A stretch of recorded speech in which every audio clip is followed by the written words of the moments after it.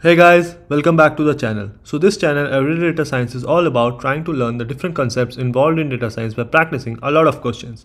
In this video, I'm going to solve this question on LeetCode regarding biggest window between visits and try to walk you through how we can develop solutions to such problems. The difficulty level of this question is medium. Okay, so let's jump right in. We are given a table called user visits with two different columns, user ID and the visit date, and these being their data types. This table does not have a primary key, okay? This table contains logs of the dates that users visited a certain retailer. Now, we need to assume that today's date is 1st of January 2021. We are asked to write a SQL query that will, for each user ID, find out the largest window of days between each visit and the one right after it, or today if you are considering the last visit, right? Okay, so let's go through this example, right? So for example, user ID 1, right? So three different visits. So the first visit was on, so like since this is not ordered, but like the first visit was on 28th of October 2020, then was on 28th of November 2020, and then 3rd of December 2020, right? So it is saying for each of the user, we need to calculate what is the biggest window between visits and if it is the last visit like for example for user id 1 the last visit was on 3rd of december 2020 so since then how many days have been passed assuming that today's date is 1st of january 2021 so a number of days between 28th of october uh, 2020 to 28th of november 2020 around 39 40 days. And then from 28th of november 2020 to 3rd of december like around five six days. And then 3rd of december 2020 to uh, 1st of january 2021 so about 27 days right? 27 28 days. So the maximum was between 20th this, uh, october 2020 and 28th november 2020 right? About 40 days. So for user id 1 the biggest window is going to be 39 similarly for 2 for 3 right? So this is the output that we need to get. Okay. So just by the logic, the first thing that we need to do is for each of the user ID, we should order this visit date column uh, in ascending order and try to find out what is the next date of the visit, right? So the visit date and the next date of the visit, right? So let's go ahead with it. So from this table called user visits, right? What we are returning is let's return both the columns, right? So user ID and the visit date. And let's create a third column uh, next called next date, which basically gives us what is the next date of the visit, right? Because we need to calculate window between the visit dates. So to do that, we need to firstly create partitions by user ID, order by visit date, and then calculate the next visit date. So since we are using a window function, we need to write over then we create a partition right? So partition by user id and then we calculate the order by visit date right? And then once there is order then what we need to do is we calculate the lead right? So lead is basically the next value right? You can basically uh, take two three four ten columns after your current. But by default if you don't write anything uh, after the column name so if i write lead from the visit date it is basically same as writing comma one. So comma one means the value from the next very next row. And let's alias this as the next date okay so let me just copy this right to demonstrate what is happening here. So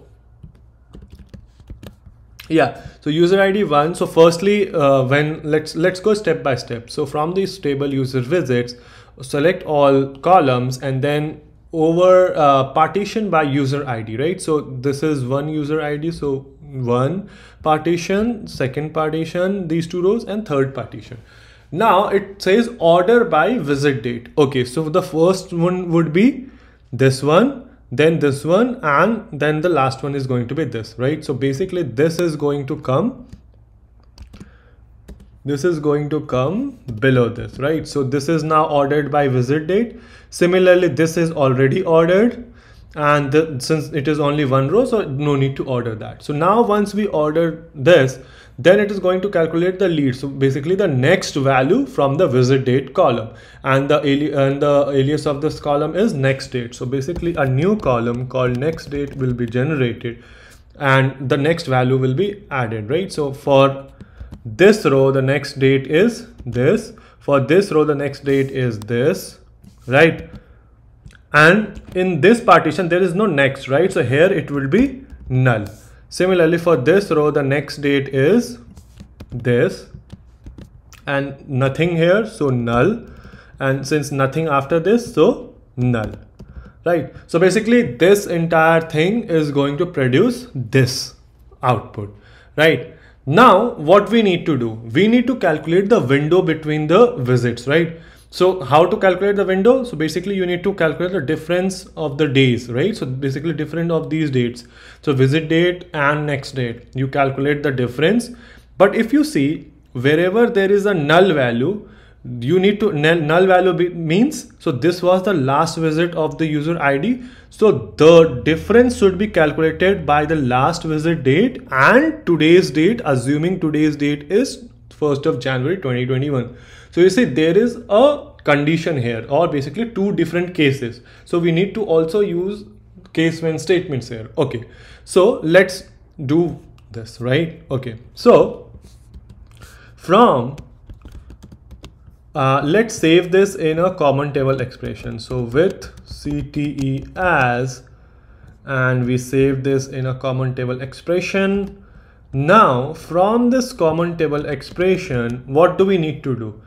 Let's return the user ID. So the user ID part, since for each user ID, we need to know the window between the dates, right? So let's return the user ID and then if next date is not null, then calculate the difference between the visit date and the next date. And if it is null, then calculate the difference between the visit date and the date, this date, right? So case when next date is not null then what you do you calculate the difference right? So how do we calculate? The function we use is date diff which columns next date and the visit date. And else that is if it is null then you calculate the date difference between uh, today's date, so 2021 0101, so 1st of January 2021. But since this is a string, so remember this column visit date is a date column, a data type date. And when you calculate the lead using this visit date, then this is also going to be date.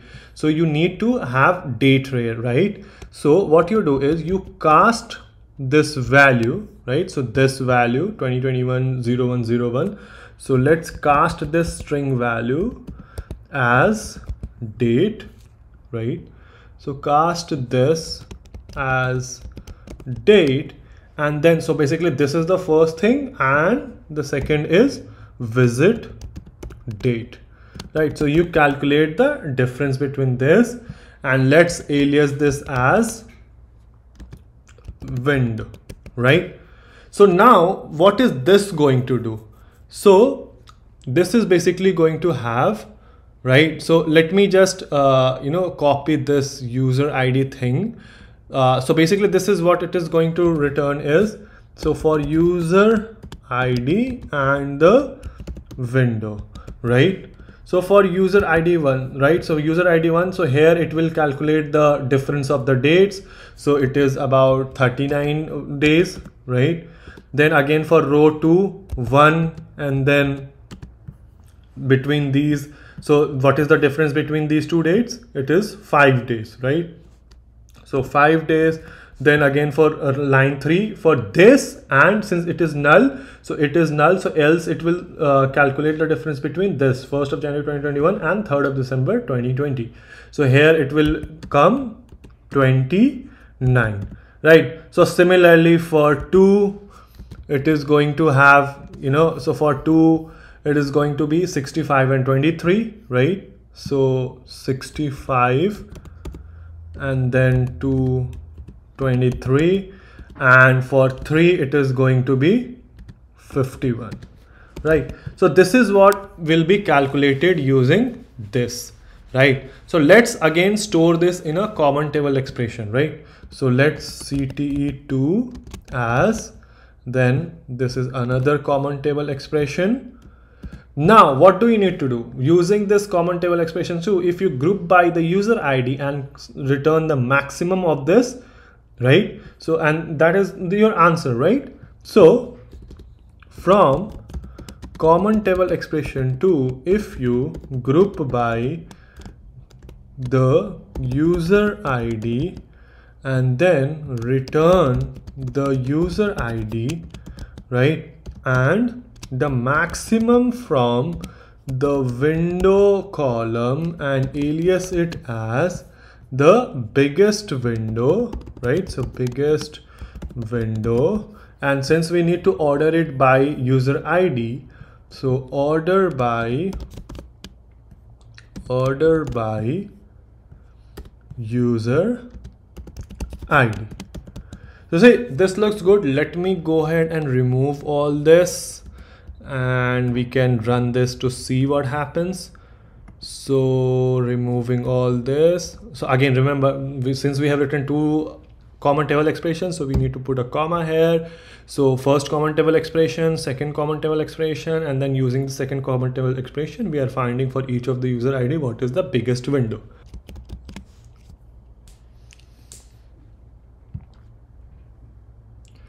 Okay, so this is accepted. Our output is same as expected output. Let me go ahead and submit it to see if it passes all the test cases. So yep, this passes all the test cases, which is pretty fast as well. And this is how we do it. Again, simple looking question, although like it's medium difficulty, but all we had to do was, you know, just follow the basic logic calculate the next visit date if the visit date was not null then you calculate the difference as as it is if it is it was null then you assume that today's date is 1st of january 2021 and calculate the difference between uh, 1st january 2021 to the last visit and then group by the user id and find out the maximum window right? And that is going to be the biggest window with each user id so yeah, this is how we do it. Let me know if there is any other better way of doing it or more efficient way uh, of doing it. Let let the solution be in the comment section below and until then i will see you guys in the next video